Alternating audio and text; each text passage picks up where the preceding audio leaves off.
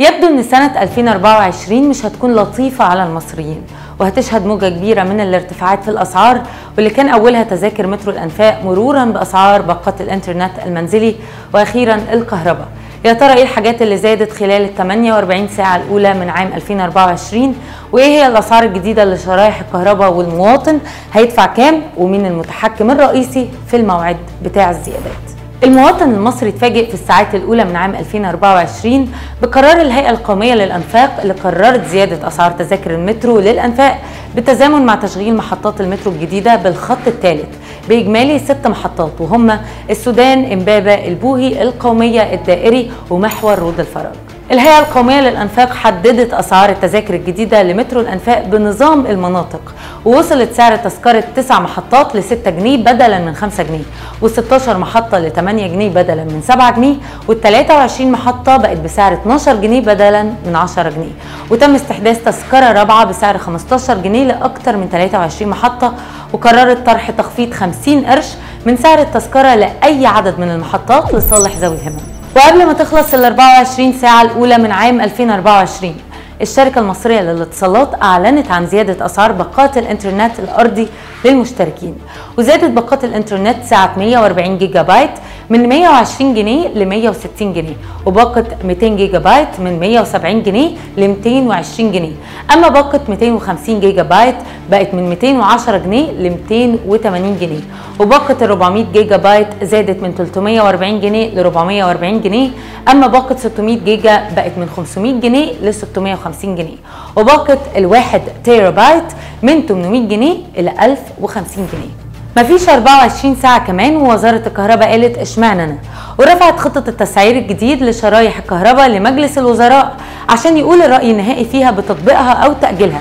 زي ما حصل على مدار 18 شهر رفض فيهم مجلس الوزراء تطبيق أي زيادات جديدة على أسعار شرايح الكهرباء وده تنفيذا لقرار الرئيس عبد الفتاح السيسي بتأجيل أي زيادات جديدة في أسعار الكهرباء مراعاة للظروف الاقتصادية للمواطنين. الخطة الجديدة لتسعير شرايح الكهرباء بتنص على رفع الشريحة الأولى اللي بتبدأ من صفر ل 50 كيلو وات من 48 قرش ل 58 قرش. ورفع الشريحة الثانية اللي بتبدأ من 51 ل 100 كيلو وات من 58 قرش ل 68 قرش. والشريحة الثالثة من صفر ل 200 كيلو وات بقت من 77 قرش ل 83 قرش. أما الشريحة الرابعة اللي من 201 ل 350 كيلو وات فزادت من 106 قرش ل 125 قرش. والشريحة الخامسة من 351 إلى 650 كيلو وات من 128 قرش ل 140 قرش. أما الشريحة السادسة من 651 إلى 1000 كيلو وات فوصلت من 140 قرش ل 150 قرش. وأخيرا الشريحة السابعة من صفر لأكثر من 1000 كيلو وات وصلت من 145 قرش ل 165 قرش. الخطة الجديدة لتسعير شرائح الكهرباء بتنص برضو على زيادات في أسعار القطاع التجاري واستثنت الوزارة الشريحة الأولى فقط من التسعير الجديد واللي بتبدأ من صفر حتى 100 كيلو وات وفضل سعرها 65 قرش. أما رفعت الشريحة الثانية واللي بتبدأ من 101 وحتى 250 كيلو وات من 120 قرش ل 136 قرش. وكمان رفعت سعر الشريحة الثالثه اللي بتبدأ من صفر وحتى 250 كيلو وات من 140 قرش ل 150 قرش. ورفعت سعر الشريحة الرابعة اللي بتبدأ من 601 ل 1000 كيلو وات من 155 قرش ل 165 قرش. وأخيرا رفعت تسعير الشريحة الخامسة اللي بتبدأ من صفر لأكثر من 1000 كيلو وات من 160 قرش ل 180 قرش. الدكتور مصطفى مدبولي رئيس مجلس الوزراء أكد أن تكلفة إنتاج الوحدة الواحدة من محطات الكهرباء وهي كيلو وات ساعة بتصل ل 177 قرش والمواطن بيحصل عليها بتكلفة 48 قرش على أساس التسعير القديم للدولار ب 18 جنيه.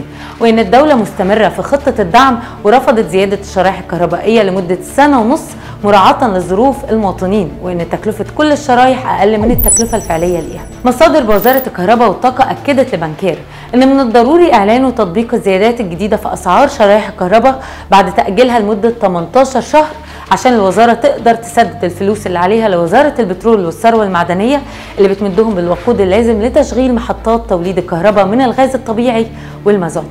كانت معاكم سارة مجدي من بنكير. بانكير. نبض البنوك